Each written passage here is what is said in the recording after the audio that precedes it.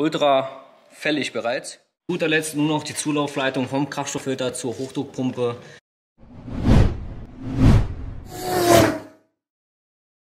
Fahrzeugthema, Inspektion, Filterwechsel. Willkommen auf dem YouTube-Channel von ATP Autoteile. Wir möchten heute an einem BMW F11 530 Diesel einmal eine komplette Inspektion durchführen. An dem Fahrzeug haben wir bereits äh, einen Ölwechsel durchgeführt. Das Video habt ihr bereits wahrscheinlich schon auf dem YouTube-Channel gesehen. Heute möchten wir separat in dem Video zeigen, wie wir einmal den Kraftstofffilter, Dieselfilter auch genannt, austauschen einmal den kompletten Luftfilterkasten ersetzen. Der ist in der Regel bei diesem Modell ist das so ein kompletter Luftfilterkasten und einmal den Pollenfilter bzw. Innenraumfilter. Ähm, klar, natürlich gehört der Ölfilter zur Inspektion hinzu, aber da er erst vor kurzem ersetzt worden ist, ist das nicht notwendig. Zu der Inspektion gehören natürlich weitere Kontrollen. Es gibt in der Regel bei BMW so einen großen Check. Da werden Verschleißteile überprüft, man checkt die ähm, Scheibenwischer, die Reifen noch verschleißt, die Bremsen. Ja, also so eine komplette Ar Arbeitsablaufsliste, die man durchführen kann. Speziell in dem Video machen wir heute einen Filterwechsel. Wir fangen mit dem Luftfilterkasten an. Das geht in der Regel am schnellsten. Dieser sitzt unter der Motorabdeckung hier, die müssen wir einmal abkapseln. Und hier haben wir dann die Luftansaugung, das ist das Luftansaugrohr. Das führt dann hierher und das ist dann einmal unser Luftfilterkastendeckel. Der ist in der Regel links und rechts geklipst.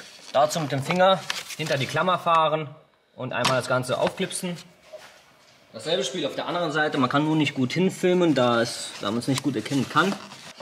Das Ansaugrohr hier werden wir noch einmal aushängen müssen. Dazu etwas dran ziehen, zur Seite drücken und dann können wir einmal den Luftfilterkasten hier rausholen. So schnell funktioniert ein Luftfilterwechsel an diesem Fahrzeugmodell. Das Innenleben kann man so rausholen, wie man hier sehen kann. Ultra fällig bereits. Den ganzen Dreck hier im Kasten sollte man natürlich dann ausraugen, ausblasen. Schnappen wir uns dann einmal den neuen Luftfilterkasten hier und den setzen wir dann jetzt einmal hier hinein. So, man muss halt bedenken, also Einbaurichtung, man kann, man kann es in der Regel nicht falsch machen. Äh, mit der Wolle hier kommt zu der Ansaugseite oder zumindest zu der Seite, wo das Ansaugrohr sitzt. Und die Seite mit dem Luftfilter selber kommt zur Motorseite. Das Ganze wird dann wieder in umgekehrter Reihenfolge wieder reingesetzt und wieder mit den Clipsen fixiert.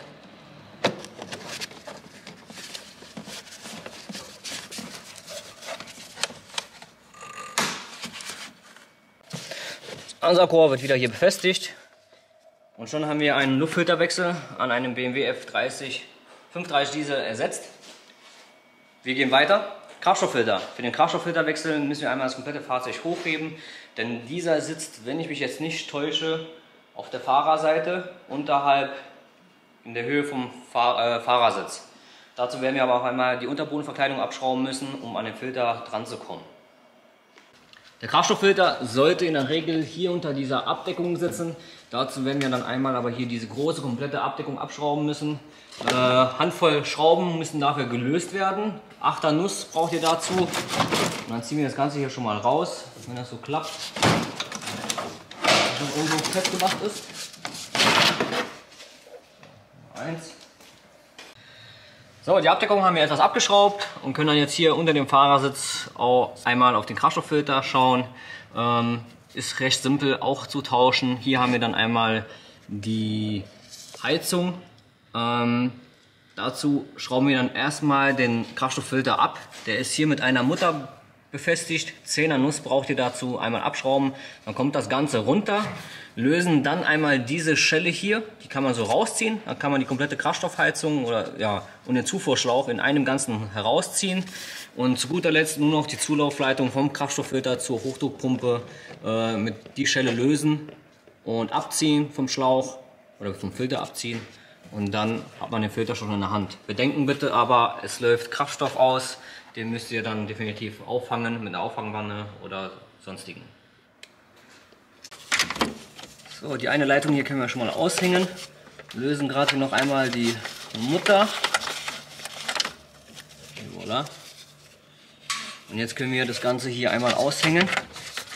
Seite zur Seite drücken.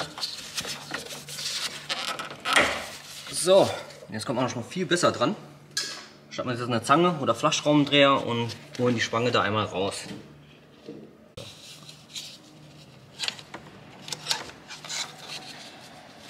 Spange raus. Und jetzt werden wir einmal das Anschlusssystem da lösen. Einfach nur etwas Drehbewegung nach außen wegziehen. Und dann läuft da auch schon Kraftstoff heraus. Deswegen, wie gesagt, alles schön auffangen. Und so passt das dann. Dasselbe spielt dann, wie gesagt, hier vorne mit der Zulaufleitung. Die Schelle dann einmal lösen. Je nachdem, welche Schelle da verbaut ist,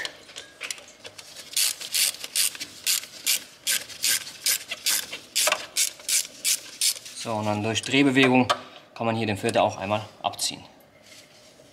Und schon haben wir dann einmal den Kraftstofffilter in der Hand. Das Einzige, was wir vom Kraftstofffilter übernehmen müssen, ist einmal der Gummiring, wenn der nicht mit neu kommt in der Regel. Aber die Halterung muss man auf jeden Fall ersetzen, beziehungsweise mit übernehmen. Dazu hier die kleine Nase betätigen und dann kommt man das Ganze hier so einmal ab.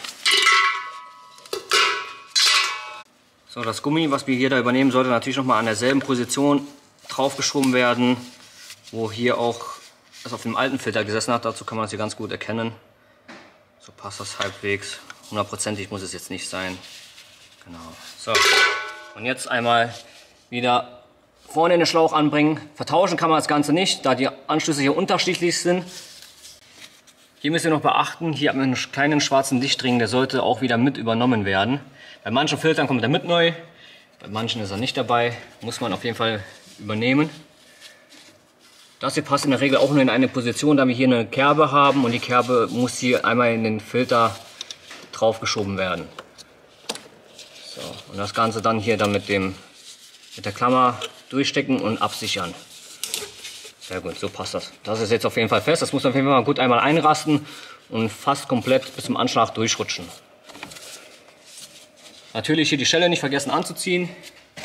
Und dann bringen wir unsere Halterung wieder an und verschrauben das Ganze wieder an die Karosserie. Kraftstofffilterwechsel haben wir erledigt. Denken bitte dran, den Kraftstofffilter oder die Leitung hier muss einmal entlüftet werden.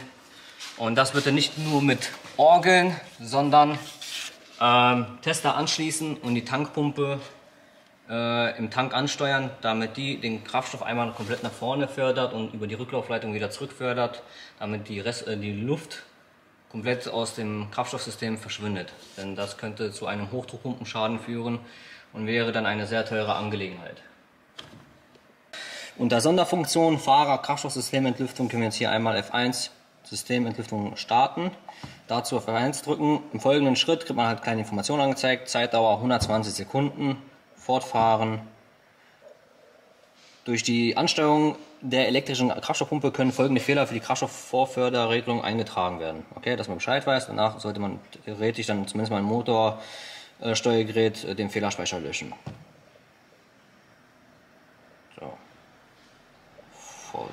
Restlaufzeit. So, die Entlüftung läuft. Bitte warten. Hier hat man die Restlaufzeit. Und das dauert jetzt ein äh, kleiner Moment. Hier so, sieht man dann einmal den Kraftstoffniederdruck, der dann anliegt in Millibar. Also wir haben jetzt knappe 3 Bar, die die Vor äh, Vorförderpumpe aus dem Tank dann nach vorne fördert. Letzter Teil vom Filter, Pollenfilterwechsel, Innenraumfilterwechsel. Ja, das ist hier etwas bisschen beengt, deswegen wird das etwas schlechter sein zu filmen. Wir haben hier einmal die Abdeckung unter dem Handschuhfach. Das ist die große Abdeckung hier.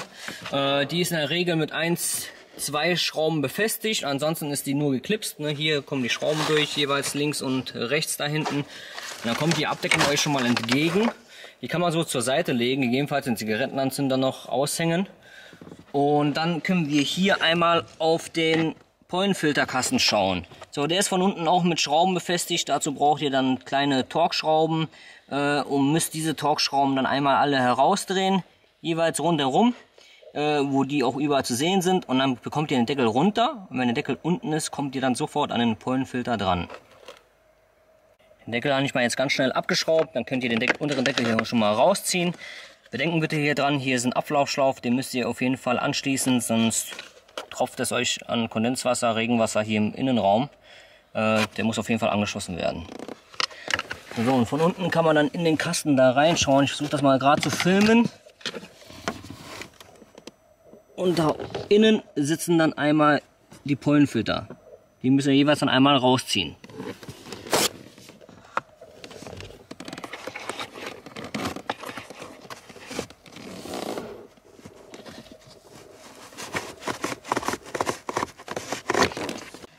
So, bei dem neuen Filter muss man beachten, wir haben da upsala, eine Airflow-Richtung. Hier steht sogar Airflow mit zwei Pfeilen.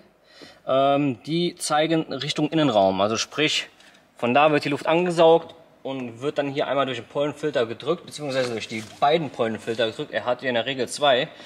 Ich habe hier leider aber nur einen Pollenfilter rausgezogen, weil dann jemand da nicht seine Arbeit richtig gemacht hat und hat da nur einen Pollenfilter reingesetzt. Korrekt, also die zwei werden dann separat in zwei Führungen reingeschoben, Deckel wieder angebracht und das Ganze wieder zusammengebaut.